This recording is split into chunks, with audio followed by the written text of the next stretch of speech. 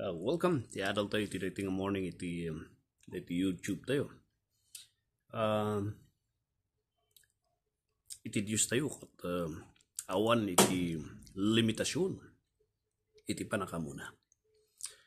Kada tayo, agiskwila tayo, ibawon tayo, nagtanak tayo, gapusta, kahit tayo nga mga yun, nanti muna.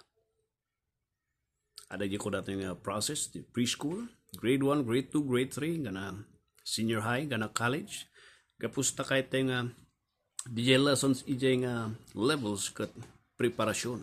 Iti kahit lang tungalaan. Kat no mga ngayunan, ag-develop di panakamuda, ag-develop di skill da. So, kas lang ladder deta. Ada ti stages ti panakamo. Tata, kas di kadi iti panakamo iti Diyos. Iti Biblia ko na iti Hebrews chapter 4 verse 13. Neither is there any creature that is not manifest in his sight.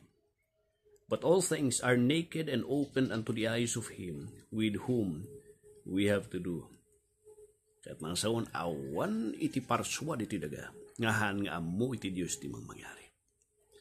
Awan iti banag iti daga ngahan nga amu iti Diyos. Amu iti Diyos ti amin nga mang mangyari nga pinarsuana ingana iti tapok ingana di kuto ingana di kuto ti kuto di ampas ti ampas no ada ammo iti Diyos di iso nga kuna iti sa ti apo when we talked about the knowledge panakamo iti Diyos. There is no limitation. Haan nga nagdevelop? Uh, haan nga makipkiptut iti Diyos iti mapaspasamak? Eh apay nangyari di ay kuha mo di ah. Awan iti banag nga makibkibtot iti Diyos nga un uncaught, aw, unaware iso na. Everything iti sang wana na is perfectly well understood and amuna. Iti libro iti Roma.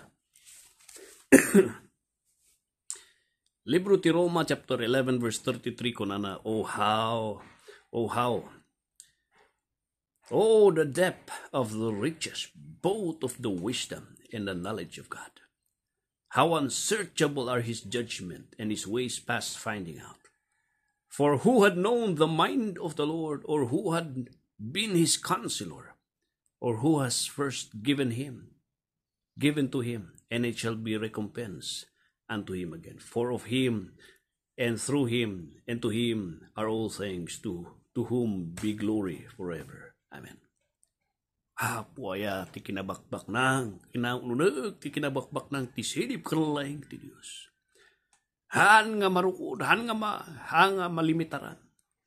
Sino ti makinamoy ti panuno ti Diyos? Sino ti nagnang, sino ti nang advice ti Diyos? Sino iti nang ibagbagay ti Diyos ti aramidan na? Apuaya day tanga, laing kan silip. Dahil tayo ti point na Apostol Pablo, the omniscience, Dila iya ko natin nga kaskas daw nga laing iti Diyos. Amoy iti nakabutbutang ditoy kat ditoy. Nakabutbutang kan nakababain kan nakakaskas daw kat ditoy. No iti Diyos kat amuna amin nga banag. Apay-pay lang a pinarsuada ka. Kaskas daw nga asi. Kaskas daw nga parabor iti Diyos. No amuna matlang gaya mga kasta ti mapasamak, amuna dagi pagkibaltangan, apay pay lang nga inarami da ka. We call that grace. Mabalin mat kuman nga ibaga na idi haanin, ustot. Kararami dak lang sakit ti ulo, but he did not. Mabalin mat ngayong kastana ko may dikat. Instant. Aming agbasol di. Ibalong ko nga daos. Timpyan o tusaak nga daos. But he. How amazing the omniscience iti Diyos. Isong ay mo nga makita nga when it comes to omniscience, the all-knowing iti Diyos, nakuyugan iti asi nakuyugan ti parabor, nakuyugan iti grasya iti Diyos. tanuawan di ay, naspak ka kadwa. Naspak tayo amin.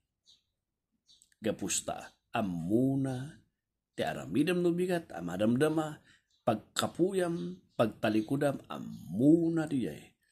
Yet, ipalpalubos na agbibiyag ka. Amun ti. So God bless you, kapsat. And ni apo Diyos ti mga iwan. Mang protektar ka na kayo. Tidak ito nga